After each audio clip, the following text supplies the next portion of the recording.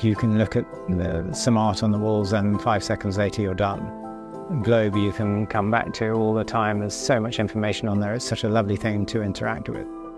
So my name is Peter Bellerby and I'm the owner of Bellerby Globe Makers, a bespoke globe maker in North London.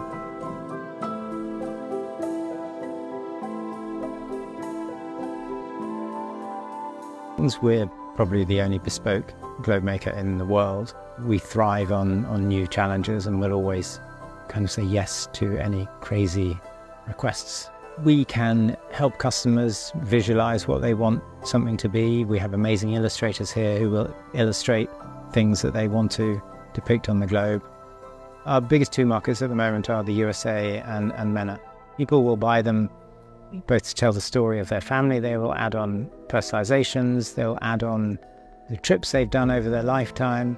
Ultimately, we're, we're producing a, a piece of art. Not only that, we're producing a piece of art that we're encouraging people to interact with the whole time, which is, is almost a crazy thing. You would never paint a beautiful painting and tell the customer to run their fingers across it every single day.